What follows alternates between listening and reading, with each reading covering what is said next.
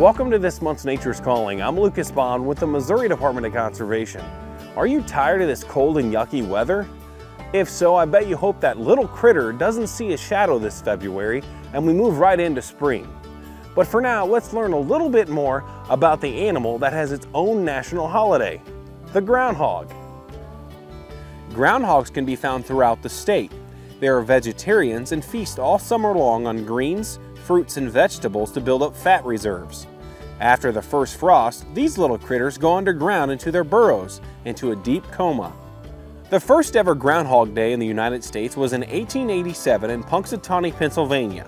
This tradition began with Germans when they began settling in Pennsylvania in the 1800s. However, they traded the hedgehog for a groundhog. Legend states if the groundhog comes out of its burrow on February 2nd and sees its shadow, there will be six more weeks of winter.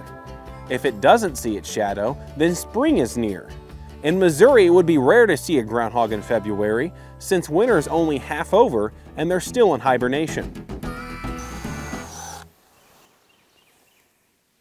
If you're looking for a sweet treat this winter, why not head out into the woods and tap into a tasty treat under the bark of sugar maple trees.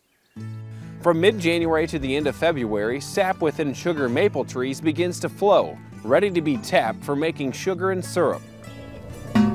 Though you can tap a variety of trees, sugar maple sap has the highest sugar content at about 3%. This time of year is prime maple sugaring season because it produces the right weather conditions. So the reason we tap trees this time of year has to do with the life cycle of the tree and the weather. So when temperatures are above freezing during the day and below freezing at night, that's when the sap will flow. It takes 40 gallons of sugar maple sap to create one gallon of syrup. You can learn more about maple sugaring at local events around the state this month or on MDC's website. Once you're through maple sugaring, why not take some time and listen to the sounds of nature? Have you ever wondered what that drumming sound was you heard in the woods? That's a woodpecker. Thanks to a famous cartoon character, most people recognize a woodpecker when they see one. They are unusual birds that climb tree trunks and use their beaks like jackhammers.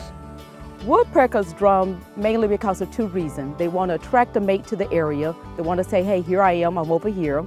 Secondly, they want to either maintain or either establish a breeding territory to alert other intruders that this is my area, stay away. Woodpeckers are important members of the forest community. Not only do they consume lots of wood-boring insects, an abandoned woodpecker home is real estate for bluebirds, chickadees, owls, squirrels, and other wildlife. Seven species of woodpeckers are commonly found in the Midwest, and several will visit bird feeders supplied with suet or sunflower seed.